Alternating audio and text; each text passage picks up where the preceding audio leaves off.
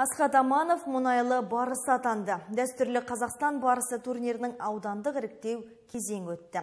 Басқұдық ауылында өткен бәсекеде ауданға қарасты барлық ауылдың балуандары бақ сынады. Толығырақ келесі бейнематериалда.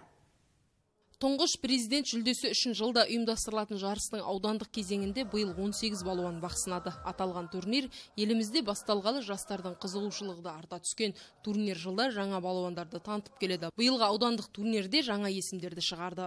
Мұнайлы ауданы бойынша жеті ауыл мен ауылдық округ бар. Барлық ауылдардан да балуандар қатысып, қазір осы сайысқа 18 балуан қатысып отыр. Мына қазақ күресі рухани жаңғыру бағдарламасы аясында ұлы даланың жеті қыры бағдарламасының аясында осы мына бұқаралық спорттың мына дамуы оған деген жастардың жас ұрпақтың қызығушылығы күн санап қарыштап артып келе жатыр. Соның өзі үлкен қуанышқа жетелейді. Асхат аманов мұнайлы барысы бәсекесінде басқыдық ауылының атынан шықты. Ол алғашқы белдесуін жарыстың ең жас балуаны арман байниязовқа қарсы өткізді.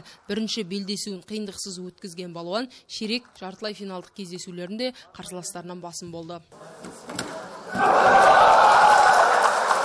Ал финалдық белдесу өткен жылғы облыстық турнирдің қола жүлдегері ғалымжан шолтаев пен асқат аманов арасында өтті. Қос балуан да боз кілемге басқұдық ауылының атынан шықты. Тартысты өткен бәсекеде асқат аман мықтылығын көрсетіп мұнайлы барыс атағына ие болды. Бірақ жеңіс оңай келмеген. Жеңіске жеткен аманов асқат басқұдық ауылы. Мұнайлы ауданының отбор болып жатыр барысқа. Жаңа ең жас балуаннан шықтым қазір аты жас. дейді жақсы бала жарыс нәтижесінде финалға шыққан қос балуан облыстық каспий көкжайлы турниріне жолдама алды. Жарыс жеңімпазына мұнайлы барысы белдігі мен қаржылай сый табысталды. Ақсыдар табылды. Сәбит амангелдіұлы каспий ақпарат.